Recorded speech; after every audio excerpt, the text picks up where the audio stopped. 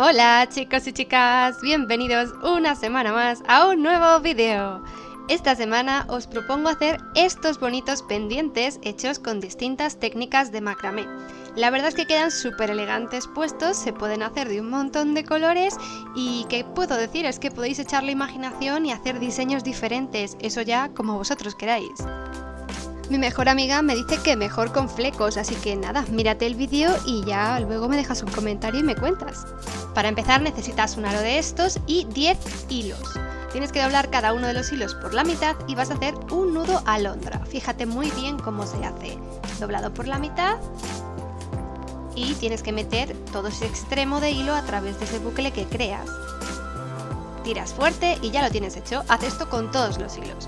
Para hacer los nudos es muy fácil, son nudos planos de macramé, te lo explico con colores. Coges los primeros cuatro, apartas los dos de los lados, coges el de la derecha, lo pasas hacia la izquierda y el otro, fíjate que se queda por encima del de la derecha, lo pasas de abajo hacia arriba por ese agujerillo que tenemos. Aprietas bien y ya tienes la mitad hecho. Ahora coges el de la izquierda, lo pasas hacia la derecha y con el otro de abajo hacia arriba lo metes pues por ese agujerillo que tenemos a la izquierda y cuando lo aprietes ya tienes el nudo plano. Ahora dejaríamos estos aparte y cogeríamos los siguientes. En este caso pues le han tocado rosa, tenemos que hacer exactamente lo mismo, haríamos un nudo plano de macramé. Te lo estoy explicando con colores para que te sea más sencillo de ver, pero yo los pendientes los he hecho solamente de color negro porque me parecían más elegantes. Tácticas de nudo para que te queden perfectos.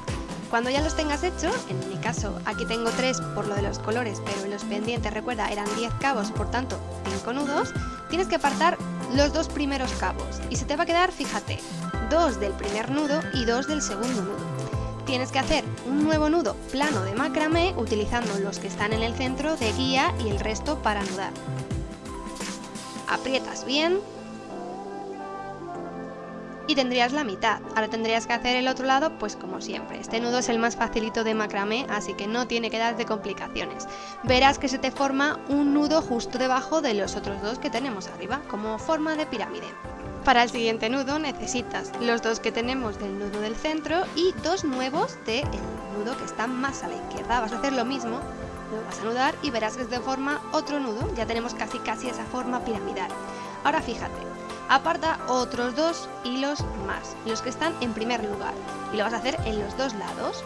En este caso se nos quedan ya los cuatro del centro, pues con esos vamos a hacer un nuevo nudo de macramé plano. Como ves, pues ya se te queda esa forma piramidal.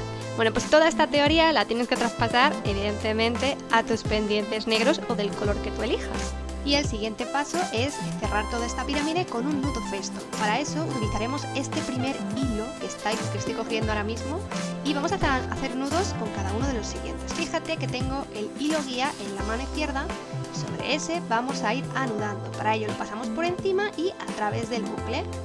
Apretamos bien y repetimos por encima del hilo guía y a través del bucle. Ahora pasaríamos al segundo hilo que tengamos por encima del hilo guía y a través del bucle. El hilo guía siempre es el mismo, ¿vale? No lo soltéis. Hay que repetir de nuevo, apretando bien, lo pasamos por encima y a través del bucle. Apretaríamos de nuevo y pasaríamos al tercer hilo. En realidad es súper fácil. Cogemos el tercer hilo y lo vamos a anudar exactamente igual, sobre el hilo guía. Pasamos por encima y a través del bucle, apretando bien fuerte y de nuevo repetimos por encima y a través del bucle. Vamos a hacer lo mismo con todos los hilos de ese lado, solamente los de ese lado, ¿de acuerdo? Justo hasta que llegues al piquito de la pirámide. Hasta aquí. Lo apartamos y vamos a hacer lo mismo en el otro lado, solo que cogemos el primero y lo pasaríamos hacia el lado contrario siguiendo la pirámide. Fíjate que hacemos lo mismo con el segundo nudo por encima y a través del bucle y repetimos por encima del hilo guía y a través del bucle. Cogeríamos el segundo hilo y así. Es muy importante que siempre respetemos el orden de los hilos porque si no te van a quedar montañitas y cosas feas.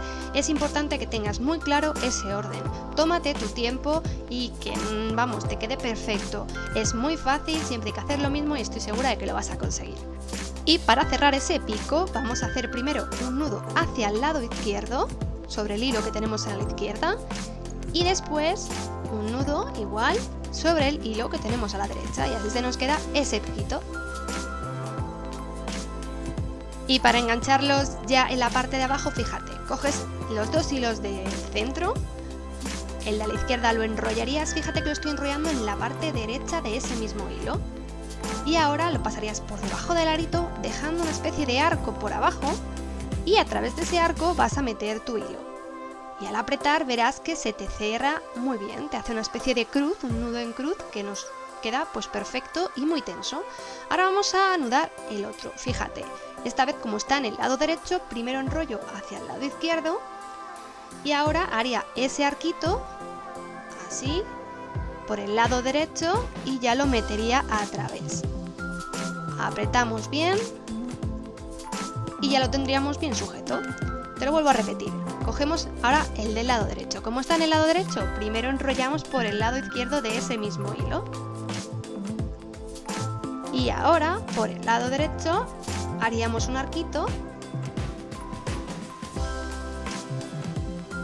Así. Y meteríamos el hilo a través de ese arquito para poder cerrarlo. Aquí es importante que aprietes, no tengas miedo. Repetimos el lado izquierdo, como ves, lo meteríamos por la derecha del hilo porque está en el lado izquierdo. Y ahora a la izquierda haríamos ese arquito pasándolo por detrás de nuestro aro metálico. Y pasaríamos el hilo a través. Apretando bien y ya lo tenemos.